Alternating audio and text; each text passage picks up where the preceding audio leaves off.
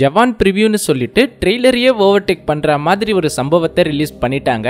அந்த one thirty two seconds preview பார்த்து முடிக்கும் போது படம் நல்லா இருக்குமா? இல்லைன்னா எங்கேயாச்சும் அடி வாங்குமான்ற கொஸ்டின் போய் பெஸ்ட் சினிமாட்டிக் எக்ஸ்பீரியன்ஸ் கண்டிப்பாக கிடைக்கணும் ஒரு நம்பிக்கை கொடுக்குது. பிகாஸ் இந்த ப்ரிவியூ வீடியோ பார்த்து முடிக்கும் போது அதுக்குள்ள எக்ஸ்ட்ராடினரி சினிமாட்டிக் விஷுவல்ஸ் இருக்கு. சின்னதாக ஒரு யூடியூப் ஸ்க்ரீனில் பார்க்கறத விட இந்த ட்ரெய்லர் தியேட்டரில் பார்த்துருந்தா இன்னும் நல்லா இருக்கும்னு ஒரு ஃபீல் கொடுக்குது. ஸோ அதை வச்சு தான் சொல்கிறேன் படம் நல்லா இருக்கும் நல்லா இல்லை. அந்த டாபிக் உள்ள போல பட் எக்ஸ்ட்ராடினரி தரமான விஷுவல்ஸ் இருக்குன்னு மட்டும் கேரண்டீடா இந்த ப்ரிவியூ வீடியோல இருந்து தெரியுது. ஸோ கொடுக்க போற நூத்தம்பது ரூபாயில நூறு ரூபாயை கழிச்சிக்கலாம். மீதி ஐம்பது ரூபாய்க்கு நல்ல ஸ்டோரி மட்டும் பண்ணிட்டா போதும். கொடுத்த காசுக்கு கண்டிப்பா ஒர்த்தா இருக்கும்னு நம்புறேன். வீடியோல எடுத்ததும் வர ஃபர்ஸ்ட் ஃப்ரேம் அது நடுராத்திரின்னு கூட சொல்ல முடியாது. ஏதோ ஒரு பௌர்ணமி நிலா வெளிச்சத்துல சம்திங் ஒரு கொரியன் வில்லேஜ்ல நடக்குதுன்னு நினைக்கிறேன். பிகாஸ் த வெயிலிங் படம் பார்த்தவங்களுக்கு நல்லா தெரியும். அந்த வீடு ஸ்பெஷலா நடுவுல ரெண்டு சைடு ஒரு கொம்பு மாதிரிலாம் வச்சிருப்பாங்க. மோஸ்ட் இதெல்லாம் கொரியன் வில்லேஜ்ல தான் நடக்கும். இங்கேயும் அதே போல டிசைன் ரெண்டு சைடு இருக்கிறது இருக்கிறதுனால கொரியன் வில்லேஜா இருக்கலாம்னு நினைக்கிறேன். பார்க்கும்போது ரொம்ப செழிப்பா இல்லைனாலும் சந்தோஷமா டான்ஸ் ஆடிட்டு இருக்காங்க. அன்னைக்கு ராத்திரி அந்த ஊர்ல ஏதோ ஒரு ஃபங்க்ஷன் நடந்துட்டு இருக்கும் போது தான் யாரோ உள்ள வந்து அத்துமீறி சுட்டு தள்ளுறாங்க.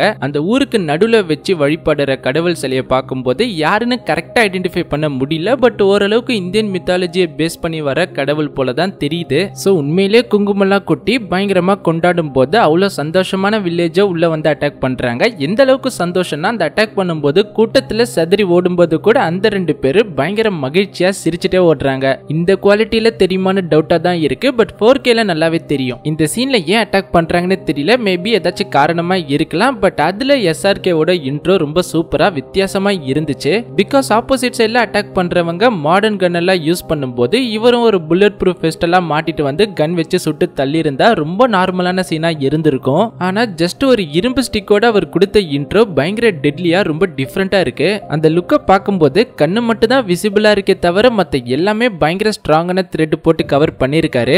நெருப்பு பட்டா எரிமா இல்லைனா ஃபயர் ப்ரூஃபா எதுக்காக இந்த கெட்டப்ல வந்திருக்காருன்னு நிறைய ரீசன்ஸ் டவுட் எல்லாம் இருக்கு. படத்துல உண்மையிலே அந்த ரீசன் ஜஸ்டிஃபையிங்கா இருந்தா இந்த லுக்கை நம்மளால பயங்கரமா என்ஜாய் பண்ண முடியும். இல்லைன்னா எதுக்கு அப்படின்னு ஒரு கொஸ்டின் தான் ரேஸ் ஆகும். இருக்கும் செட்டு ஏதாச்சும் ஒரு காரணம் இருக்கும். இல்லாமலாம் ஒரு கேரக்டரோட லுக்கை இவ்வளோ டெட்லியா டிசைன் பண்ண மாட்டாங்கன்னு நம்புறேன். அப்புறம் ஆக்டர் விஜயோட கேமி அந்த படத்துல இருக்கு இல்லைன்னு சொல்லி நிறைய ரூமர் சுத்திட்டு இருக்கு. எந்த அளவுக்கு நீங்க அதை ஸ்ட்ராங்கா பிலீவ் பண்றீங்க? உண்மையில ஒரு கேமியோ இருந்தா நல்லா இருக்குமான்னு மறக்காம கமெண்ட் செக்ஷன்ல சொல்லுங்க. படத்துல இன்னொரு முக்கியமான ஆக்ஷன் சீன் கண்டிப்பா அந்த ட்ரெயின் சீக்வன்ஸாக இருக்கும்னு நினைக்கிறேன். பிகாஸ் அதே ட்ரெயினில் எஸ்ஆர்கேவோட அப்பியரன்ஸும் இருக்கு. அதே போல ஆக்டர் விஜய் சேதுபதியும் அந்த ட்ரெயினுக்குள்ள டிராவல் பண்ற மாதிரி ரெண்டு மூணு ஃப்ரேம் ப்ரிவியூ வீடியோல பார்க்க முடியுது. அந்த ட்ரெயினுக்குள்ள போதுன்ற அளவுக்கு ஆடி பாடி சுட்டு தள்ளி இப்ப எஸ்கேப் ஆகணுன்ற டைம்ல நேஷனல் செக்யூரிட்டி கார்டு சுத்து போட்டாங்க. ஸோ பேசஞ்சரோட பேச பேசஞ்சரா பிளெண்ட் ஆகி போகணும்னு சொல்லி எல்லாரும் அதே கெட்டப்பில் இருக்கும்போது ஜவான் கேரக்டர் எஸ்கேப் ஆகலாம். நானும் பார்த்துட்டே இருக்கேன். அதிகமா பிஜிஎன்ஸை இன்வால்வ் பண்ணிட்டே இருக்காங்க. நிஜமா ஒரு ட்ரெயின் பண்ணி வளர்க்குற பேர்டா இல்லைன்னா சும்மா சினிமாட்டிக்கா இருக்கட்டுமே அங்க இங்கன்னு பறக்க விட்டுட்டு இருக்காங்களான்னு டவுட்டா இருக்கு. பசங்களை பொறுத்த வரைக்கும் ஓகே பட் லேடிஸ்க்கு இந்த கெட்டப் எப்படி மேட்ச் பண்ணாங்கன்னு ஒரு கொஸ்டின் இருக்கு. பிகாஸ் நிறைய பேருக்கு லாங்கர்லாம் இருக்கலாம். பட் விஷுவலாக பார்க்கும்போது ஓரளவுக்கு மிஸ் மேட்ச் ஆகாம நல்லா தான் இருக்கு. அதே ட்ரெயின் சீக்வன்ஸில் எஸ்ஆர்கேக்கு ஒரு லெக் ஷாட் இருக்கும்ல அப்ப அந்த ஷூ நோட் பண்ணும்போது அங்க ஒரு பிளாக் லேஸ் கூட எதுவுமே இருக்காது. தலையை எதை சுத்தி த்ரெட்டால விராப் பண்ணியிருக்காரோ அதே போல தான் ஷூக்கும் யூஸ் பண்ணியிருக்காங்க. பார்க்கும்போது நல்லா இருக்கு. அந்த லுக்கை எந்த அளவுக்கு டீடைல்டா ரீட்டைன் பண்ண முடியுமோ அந்த அளவுக்கு நுணுக்கமா பார்த்து டிசைன் பண்ணியிருக்காங்க. அப்புறம் அந்த சீனோட லைட்டிங் சொல்லவே வேணாம். கேசரி புல்ல டாப் நாச் குவாலிட்டியா கலர்ஃபுல்லா நல்லா இருக்கு. ஆக்டர் ஷாருக் கானோட டைட்டில் கார்டை இந்த ப்ரிவியூ வீடியோல பிளேஸ் பண்ணும்போது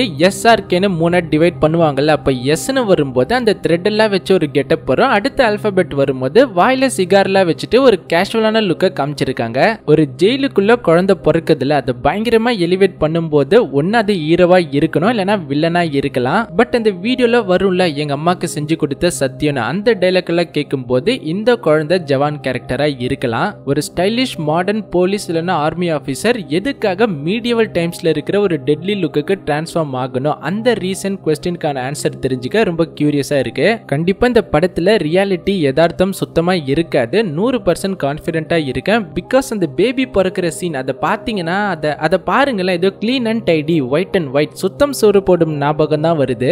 இன்னொன்னு அவர் நடுவில் நடந்து வரும்போது சுத்தி பிளேட்டு டம்ளர்ல மின்னும். அதை அடிச்சு மியூசிக் பண்ணும்போது ஒருவேளை இது ஜெயில் செட்டப்பா இருக்குமோன்னு ஒரு டவுட் வருது. இப்படியும் ஜெயில் இருக்குமா தெரியல. பட் இது ஒரு போஸ்ட் கிரெடிட் சீனில் வர சாங்காக கூட இருக்கலாம். ஸோ அங்கேயே பிறந்து வளர்ந்து படிச்சு போஸ்டிங் அங்கேயே வாங்கி அந்த பிரிசனை ப்ரொடெக்ட் பண்ற ஒரு நேர்மையான போலீஸ் போலீஸ் ஆஃபீஸரா இருந்திருக்கலாம். என்னால பாடவும் முடியும் பொழந்து கட்ட முடியும்னு சொல்லி எக்ஸ்ட்ரீம் ஆப்போசிட் ஷேட்ஸ் காட்ட ட்ரை பண்ணியிருக்காங்க அடுத்ததா ஸ்பெஷல் அப்பியரன்ஸா தான் ஆக்ட்ரஸ் தீபிகா வராங்கன்னு சொல்லி ஜெனியூனா சொல்லிட்டாங்க. அந்த நேர்மையை பாராட்டணும். ஸோ அவங்க எஸ்ஆர்கேவோட அம்மா கேரக்டரா இருக்கலாம்னு சொல்லி ஒரு ரூமர் போயிட்டு இருக்கு.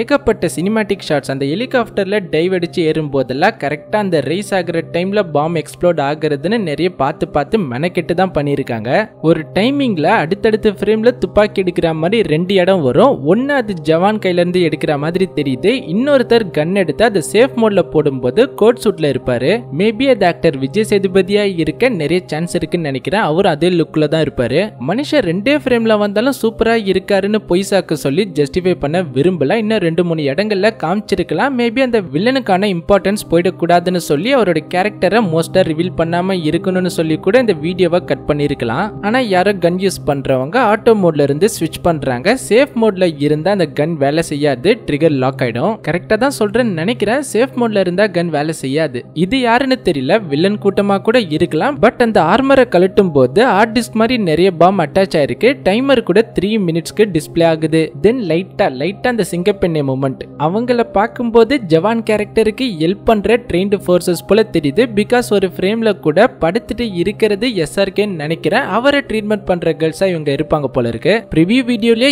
ஏகப்பட்ட ஆக்ஷன் சீக்வன்ஸ் டீஸ் பண்ணியிருக்காங்க. இதெல்லாம் மட்டும்தான் இருக்கா? இன்னும் அன்ரிவீல் பண்ணாத ஏதாவது சஸ்பென்ஸ் இருக்கான்னு தெரியல. ரோட்லலாம் கூட நிறைய ஸ்டண்ட் ஆக்ஷன் சீக்வன்ஸ் எல்லாம் நடக்குது. சிரிக்கவே இல்லை. ரொம்ப சீரியஸாக ஓடிட்டு சுட்டு தள்ளிட்டே இருக்காங்க. இவங்களது யூஸ்வலாக இல்லாமல் பயங்கர சீரியஸான ஒரு கேரக்டராக இருக்கும் போல இருக்கு. இதெல்லாம் வச்சு பார்த்தா டூயட் சாங்கே எதிர்பார்க்க கூடாதுன்னு நினைக்கிறேன். கொஞ்சம் கொஞ்சமா அட்லி லோக்கி மோடுக்கு மாறிட்டு வராருன்னு நினைக்கிறேன். பரவாயில்ல நல்லது சந்தோஷம். இல்ல இல்ல ஒரு படத்துல போட்டு தள்ளிட்டா போதுமா? எல்லா படத்துலயும் செய்யறது தான் மேட்ரு ஸோ லாஸ்ட் அந்த ட்ரெயின் சீக்வன்ஸ் அங்கே ஒரு கலர் ஷர்ட் மாட்டியிருக்காருல்ல அதே போல தான் அந்த பெட்டில் படுத்துட்டு இருக்காருன்னு நினச்சி எஸ்ஆர்கேன்னு சொன்னேன் மேபி இல்லாமலும் இருக்கலாம். அவர் கையில் ஒரு லயன் ரிங் இருக்குது இதுக்கு மேலே லயனை சினிமாவில் யூஸ் பண்ண முடியாது. இதெல்லாம் கன்சிடர் பண்ணி தான் சாலாரில் டைனோசருக்கு போயிட்டாங்களா தெரியல. ஆனால் அந்த பைக்குள்ளே என்னமோ இருக்கணும் நினச்சி பாருங்களேன். இந்த கெட்டப்பில் கையில் ஒரு பையோட அந்த ஸ்டேஷனுக்குள்ளே நுழைஞ்சு ட்ரெயின் ஏற ட்ரை பண்ணால் யாராச்சும் ஸ்டாப் பண்ணுவாங்க. பட் இங்கே அந்த மாதிரி எதுவுமே நடக்கல. கேஷுவலாக ஏறி போகிறாரு ஆனால் ஆள் பார்க்க கொஞ்சம் கொஞ்சம் வித்தியாசமாக இருக்காருன்னு பீப்புள் நோட் பண்ணுறாங்க இருந்தாலும் அந்த கெட்டப் பயங்கர தரமாக இருந்தது. லைக் இந்த சிவாஜி படத்தில் ஆரம்பத்தில் ரொம்ப நல்லவராக இருந்தவர். ஏகப்பட்ட சேலஞ்சஸ் ஃபேஸ் பண்ணி உயிர் போகிற நிலைமைக்கு அப்புறமா பயங்கர கெத்தாக மொட்டை பாஸ் வருவார்ல அதே போல் ஒரு ஃபீல் தான் லைட்டாக கொடுக்குது. ஆனால் இது சினிமா ஒன்று முடியலன்னா மொட்டை அதுக்காக காப்பி இன்ஸ்பிரேஷன் சொல்லிட்டு இருக்க முடியாது. எந்த அளவுக்கு அந்த கேரக்டரை டிஃப்ரெண்ட்டாக இந்த டைலாக் கூட ஆக்ஷன் சீக்வன்ஸை பிளேஸ் பண்ணியிருக்காங்களோ அதை பொறுத்து தான் படத்துக்கு படம் ரிசல்ட் மாறும். மொட்டை அடிச்சாலும் காதுக்கு மேல டேட்டுல சம்திங் ஏதோ எழுதியிருக்காங்க. என்னன்னு தெரியல. ஜூம் பண்ணாதான் படிக்க முடியும். ஓ வா சப்போர்ட் பண்ணுங்கன்னு போட்டிருக்கு. ப்ளீஸ் இந்த வீடியோ பிடிச்சிருந்தா மறக்காம லைக் பண்ணிட்டு சப்ஸ்கிரைப் பண்ணுங்க. அதே போல யார் கூட இந்த படம் பார்க்க போறீங்களோ அவங்களுக்கு இந்த வீடியோவை ஷேர் பண்ணுங்க. நான் சும்மா விளாட்டா ட்ரை பண்ணேன். சீரியஸா அங்க என்ன எழுதிருக்குன்னு தெரியல. பட் ரொம்ப மைண்ட் பண்ண வேணாம். படம் வந்தா அதுக்கு கண்டிப்பா ஒரு க்ளோஸ் அப் ஷாட் வச்சிருப்பாங்க. அப்போ பார்த்து தெரிஞ்சுக்கலாம். நீங்க வேற என்னெல்லாம் நோட் பண்ணீங்கன்னு மறக்காம கமெண்ட் செக்ஷன்ல சொல்லுங்க. அதே போல நேத்து நம்ம சேனல்ல குட் நைட் படத்தோட இடன் டீட்டெயில்ஸ் வீடியோ வந்திருக்கு. டைம் கிடைச்சா செக் பண்ணி பாருங்க. ரொம்ப நல்லா இருக்கும். திருப்பதியில லட்டுக்கு பதிலா ஜிலேபிய விட்டார்னு விட்டியடா ஒரு பீலா.